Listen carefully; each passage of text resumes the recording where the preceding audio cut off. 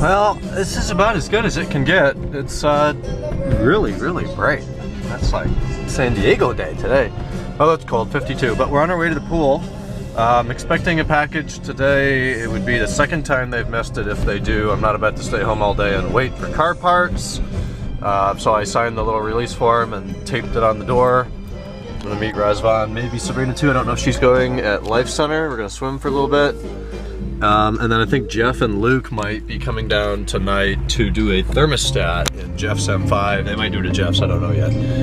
Um, but that would be interesting. We could redo the DIY because it has for some reason vanished from E39 source and I don't think I have the, the source file.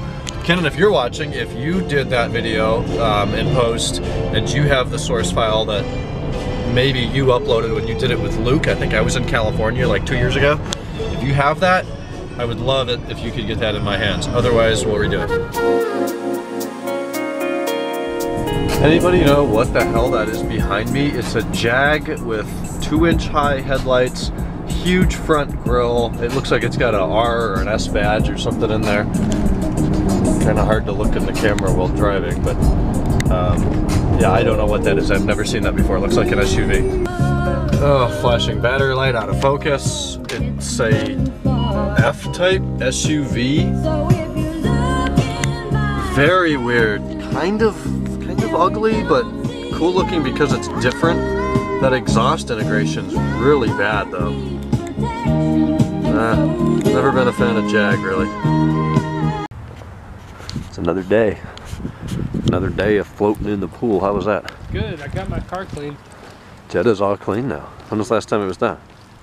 Uh, about like a week or so ago. But the problem is, is where I work, it just gets It's pretty good. Is that uh, That's residual plastic? plastic? Yeah. So I have to get that off. But not bad. Still see the towels. I'd like the buffet. Hello. That's sweet. That's a six-speed E60 full leather interior with the Titan trim. That is a nice car. That's a facelift. It's got some exhaust on it. It's from our county. He knows what he's got. I don't know what exhaust that is. It's a muffler delete. It's a muffler deleted E60 M5 with full leather and a manual. Holy hell. It's got the nice seats too. The- It's uh, got the cooled seats. Fortunately that bumper took a good scuff there. That's beautiful. The clock strikes one. It's time to wrap up a vlog.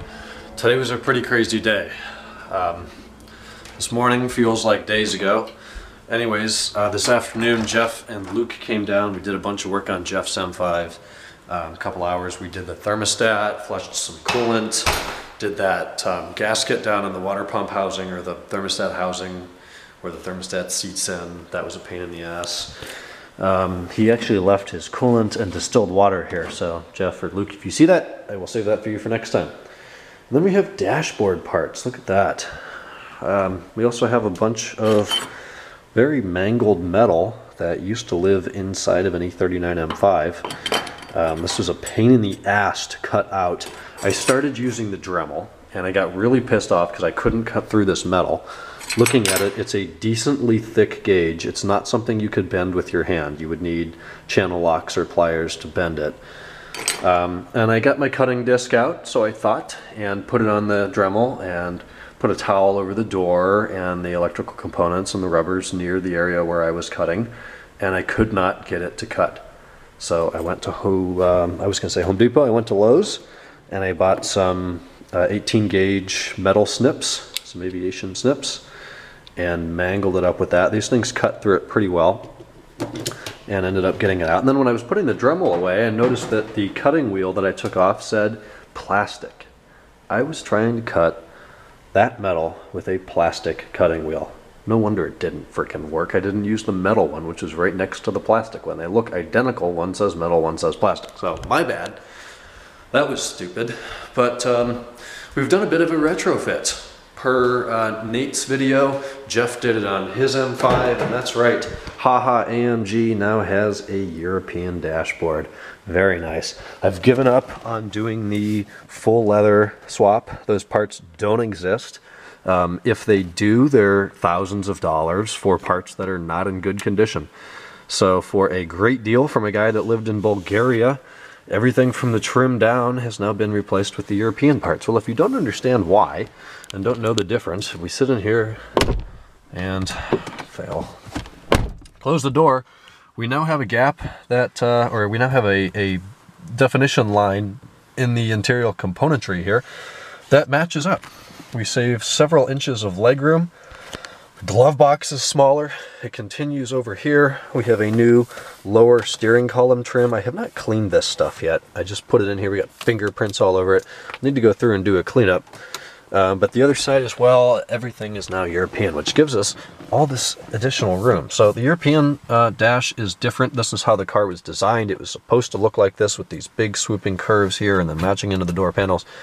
Um, the United States, the DE93 US market got different components that were a lot thicker because we're stupid over here apparently, and we sometimes do not wear seat belts uh, which would mean in the event of an accident, our knees would go into the dash, and having the dashboard down here instead of up here uh, would keep us from. I don't know. I'm too tall for this. I'm 6'3", so it would not happen to me. But anybody less than about 5'10 would probably get pushed down there. Um, so that's why the US got different stuff. So I've switched it. I had to cut metal out over there. All of this here was really easy. You pop this trim off and then there's a bunch of screws under there that you remove. Um, in the glove box area, there's more screws up at the top all of this went really quite swimmingly. And then you get over there and behind or in front of the EWS module is a big thick metal welded in um, plate that uh, you have to cut out. Reason being, the Eurodash has this really convenient, let me get my iPhone light, has a really convenient storage pocket over here, which is a fantastic place to keep a wallet, uh, your phone, camera, keys, whatever kind of stuff you have with you. Now I have purchased a new pocket uh, that I'm going to throw in there. There's just two screws and two clips on the bottom that hold that in. So you see that, that that's really the worst wearing part of the kit that I bought is the stuff in there. So I'm just going to replace that plastic pocket. So we'll get rid of that crap in the back there.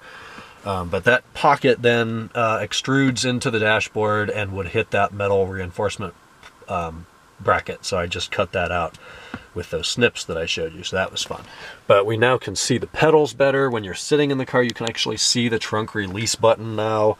Um, it's just much better. And as I said, everything's really dirty. I have not cleaned the fingerprints and all that off of it from the couple hours it took me to install today. So, in my opinion, big improvement. I love the way it looks. You get more room. You can move the seat up, giving the rear passengers more legroom as well. Um, as I said, you get to see the nice pedals. You do see more of the footwell over here, which looks a little weird. I'm not used to it yet, um, but it's really nice. And a great storage pocket, because I always use these two in the door, uh, so now I can have stuff in the dash as well, since we don't have armrests that open here, and I don't like that mod that then turns this into a big flat plateau here. I think that looks dumb. So, good improvement. Jeff and I have that now. I think Kennon's probably going to do it in the future, maybe after the PDC retrofit. Uh, but it took several hours to do. And really, aside from having to cut that metal out, it's, it's an easy process. Um, the worst part is definitely cutting the metal out and then the driver's footwell ceiling, as I call that thing, has to be replaced. The OBD2 port now lives up in that cubby instead of uh, in, in, the dashboard area. But uh, nice modification, good improvement, and probably still legal. I don't know if that became something that was that would affect the legality of not having the US spec dash but whatever. I always wear a seatbelt. So I think these things are kind of funny. Maybe I'll throw one down in the parts box. Otherwise, I will just throw them out because they're totally worthless. Just cut up metal. There's where I was trying to cut it with the plastic disc. It was not working at all. So that was today. We got a thermostat in Jeff's car, the dash in my car.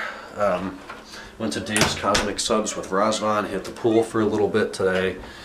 Um, and then we all hung out here, Luke, Jeff, Ken, Razvan, and Sabrina for a couple hours and hung out afterwards. It's now 1 a.m. Everybody's left. I'm tired and I'm going to bed. So I will talk to you tomorrow on Sunday. Good night.